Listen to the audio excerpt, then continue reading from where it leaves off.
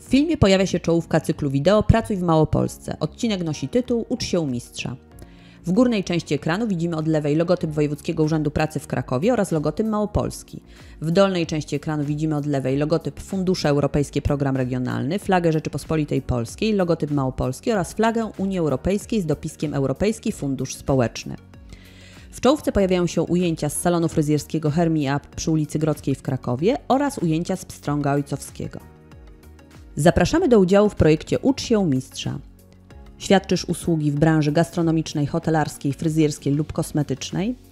Zatrudniasz fachowców z bogatą wiedzą i doświadczeniem? Dbasz o jakość swoich usług? Szukasz nowych kierunków rozwoju dla swojej firmy? Nawiąż współpracę z Wojewódzkim Urzędem Pracy w Krakowie i zaangażuj się w unijny projekt Ucz się mistrza. Do udziału w projekcie zachęca Jan Gąsienica-Walczak, dyrektor Wojewódzkiego Urzędu Pracy w Krakowie. Udział w tym innowacyjnym projekcie to szansa dla małopolskich firm na wykorzystanie potencjału pracowników w roli mistrzów. To także dodatkowe źródło dochodu dzięki rozszerzeniu działalności firmy o usługi edukacyjne. Zapraszamy do współpracy branże, które ucierpiały w czasie pandemii COVID-19: gastronomiczną, hotelarską, kosmetyczną i fryzjerską. O tym, że warto przyłączyć się do projektu, przekonują sami przedsiębiorcy. Wśród nich jest pani Agnieszka Sendor, reprezentująca pstrąg ojcowski. Na ekranie widać ujęcia jej hodowli pstrągów z Ojcowa.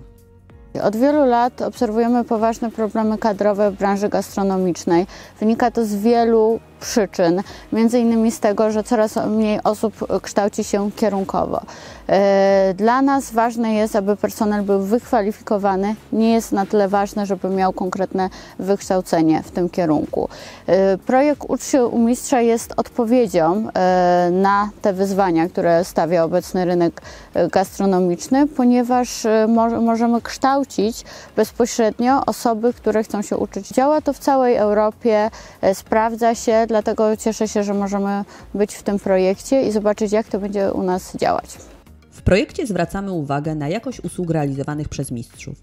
Dlatego stworzyliśmy standard usługi uczenia w miejscu pracy MSUS Plus. Na ekranie widać logotyp standardu MSUS Plus oraz ujęcia konsultacji dla mistrzów w Centrum Zapewnienia Jakości Kształcenia pani Agnieszka Sendor. Jako pracodawcy otrzymamy również prestiżowy znak jakości MSUS, potwierdzający najwyższą jakość świadczonych usług na rynku pracy.